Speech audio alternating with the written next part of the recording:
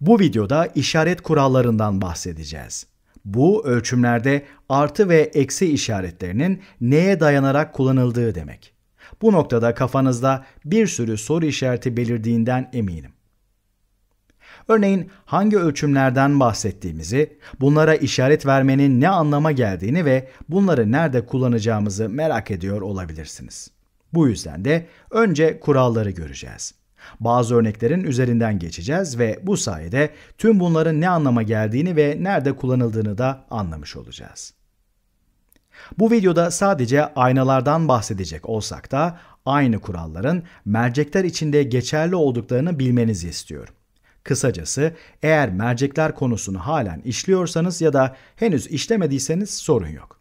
Kurallarla başlayacağımızı söylemiştim. İşimizi kolaylaştırmak için bir örnek üzerinden ilerleyelim mi? Elimizde bir çukur ya da iç bükey ayna olduğunu düşünelim. Bu aynalara çukur ayna denmesinin sebebi yansıtıcı yüzeyin aynanın çukur olan kısmı burasıdır. Evet, kurallar nelermiş bakalım mı? Birinci kural. Tüm uzaklıklar aynanın tepe noktasına göre hesaplanır. Hemen işaretliyorum. Burası aynanın tepe noktası. Tüm uzaklıklar derken aslında 3 uzaklıktan bahsediyorum. Bunlardan ilki odak uzaklığıdır ve adından da anlaşılacağı gibi odağın ne kadar uzakta olduğunu gösterir. Cismin uzaklığı ki bu da cismin aynaya olan uzaklığıdır. Ve görüntü uzaklığı ki yine adından da anlaşılacağı gibi bu da görüntünün uzaklığını gösterir. Bu uzaklıkların üçü de aynanın tepe noktasından başlayarak ölçülür. Bunu not etmeyeceğim ama birinci kuralın ne olduğu anlaşıldı. Öyle değil mi? Sıra geldi ikinci kurala. Bu uzaklıklar ölçülürken ölçüm aynanın önünde ya da arkasında yapılabilir. Hemen bir örnek vereyim mi? Örneğin görüntüler. Görüntüler zaman zaman aynanın önünde, zaman zaman da arkasında oluşurlar.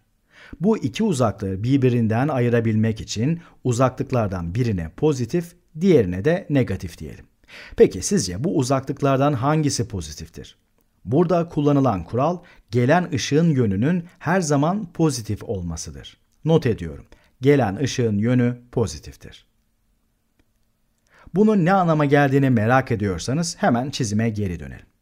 Aynanın yansıtıcı yüzü burada olduğundan ışınlar her zaman aynanın sağına doğru gelecek, öyle değil mi? Burada bir cisim olduğunu düşünürsek gelen ışınlar nereye doğru işaret eder? Sağ tarafa. Ve gelen ışınların yönü eğer pozitifse bu örnekte aynanın sağ tarafı pozitif olarak kabul edilir. Bu arada sağ taraf derken aynanın tepe noktasının sağından bahsettiğimizde hemen eklemek istiyorum. Hemen not edelim.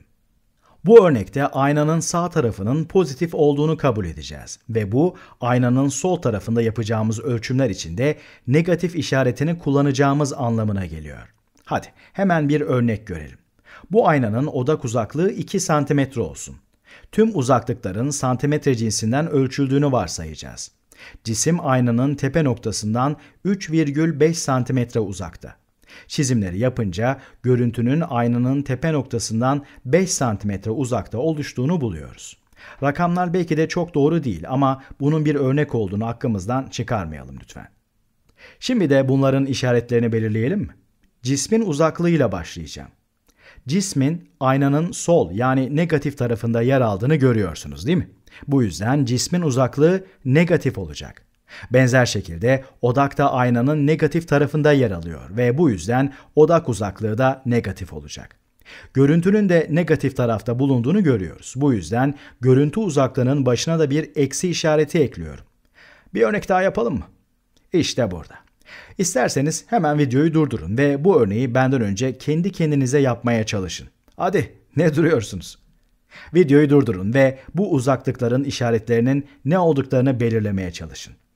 Gelen ışınların yönünün her zaman pozitif olacağını da aklınızdan çıkarmayın. Gelen ışınların yönü pozitif olduğuna göre bir bakalım. Bu aynanın yansıtıcı yüzeyi burası. Cismimiz de burada. Bu yüzden ışınların bu yöne yani sola doğru geleceklerini söyleyebiliriz. Aynanın tepe noktasını işaretleyelim. Bu noktanın solunda yapacağımız ölçümler pozitif, sağında yapacağımız ölçümler negatif olacaklar. Nedenini bir kere daha hatırlayalım. Gelen ışınların yönü sol tarafta ondan. Bir önceki örneğin aksine bu defa aynanın solunda kalan ölçümler pozitif olacaklar. Cisim negatif tarafta olduğuna göre buraya eksi işareti koyuyorum. Odak noktasının pozitif tarafta olduğunu gördünüz değil mi? Bu yüzden buraya da hemen bir artı işareti koyalım. Benzer bir şekilde görüntü de pozitif tarafta oluştuğu için görüntünün uzaklığı da pozitif olacak. Buraya da bir artı koyalım. Son bir kural daha var ve bu da boylarla alakalı bir kural. Örneğin buradaki cismi düşünelim. Bu cismin boyunu düşünürsek asal eksenin üzerinde yukarıya doğru uzanıyor.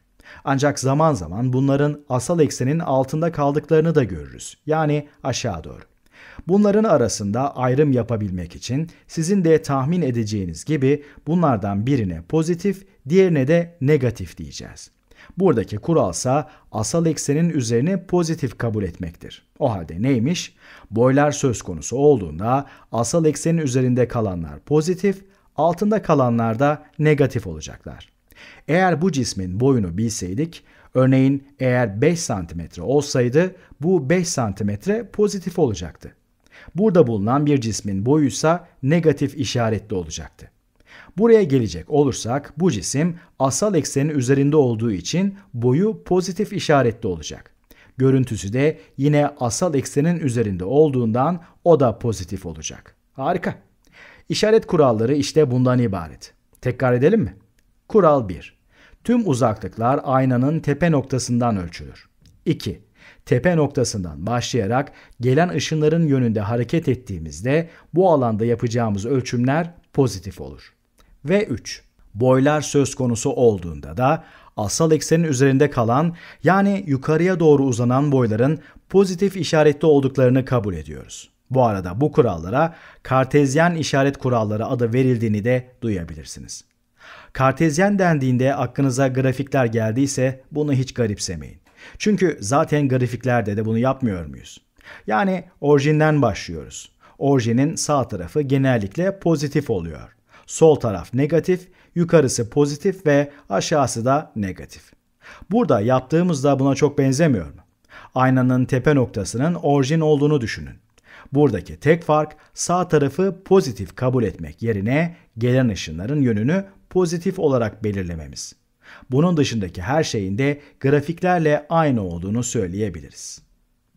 Evet, kurallara kartezyen kurallar adı verilmesinin sebebini de söyledikten sonra size son bir şeyden daha bahsetmek istiyorum. Bazı ders kitaplarında bunun biraz farklı uygulandığını görebilirsiniz. Aslında çok da farklı bir şey değil. Ama bazı kitaplar bu çizimleri yaparken gelen ışının yönünü her zaman sağ taraf olarak belirler. Ve buna bağlı olarak da sağ taraf her zaman pozitif, sol tarafta her zaman negatif olur. Örneğin bu çizimi asla böyle yapmazlar. Neden? Çünkü burada gelen ışınların yönü sol. Bunun yerine bu bahsettiğim kitaplar cismi her zaman aynanın soluna yerleştirirler. Yani bu çizimi tersine döndürdüğümüzü düşünün. Ve çizimdeki her şeyi gelen ışınların sağ yönlü olmasına göre ayarlarlar. Bunun sonucu olarak da sağ taraf her zaman pozitif olur ve böylece grafiklerle de birebir örtüşme yakalanır. Evet, kendinize böyle bir standart elbette belirleyebilirsiniz ama genel olarak gelen ışınların yönünün her zaman pozitif kabul edildiğini aklınızdan çıkarmamanızı öneririm. Peki, sizce bu işaretleri neden kullanıyor olabiliriz? Buna yönelik bir örnek görelim mi? Yer çekimine kapılmış cisimler. Yer çekimine bağlı olarak düşen cisimleri incelerken düşen bir cismin hızını genelde negatif kabul ederiz. Yukarıya hareket ediyorsa da hızı pozitif olur. Eğer bu işaretler olmasaydı burada olup biteni açıklarken hızın aşağı yönlü ya da yukarı yönlü olduğunu sözel olarak belirtmemiz gerekirdi. Ama çok fazla kelime kullanmak istemediğimiz için bu matematiksel işaretler gerçekten de işimize yarıyor bize hangi cismin hangi yönde hareket ettiğini matematiksel olarak veriyorlar. Benzer bir şekilde burada da eğer işaretler olmasaydı çukur ayna ya da tümsek aynanın söz konusu olduğunu ya da görüntünün aynanın önünde ya da arkasında oluştuğunu sözel olarak söylemek zorunda kalırdık. Ama gördüğünüz gibi işaretler olunca yani örneğin negatif odak uzaklığı dediğim zaman aklımıza hemen çukur aynalar gelir. Pozitif odak uzaklığı ise tümsek ayna ile özdeşleşen bir özelliktir. Cisim ya da görüntü uzaklığının negatif olması bunların aynanın önünde olduğu, pozitif olması da aynanın arkasında oldukları anlamına gelir. Uzun lafın kısası işaretler ölçüm yaptığımız yönler arasında matematiksel olarak ayrım yapabilmemize yardımcı olur diyebiliriz.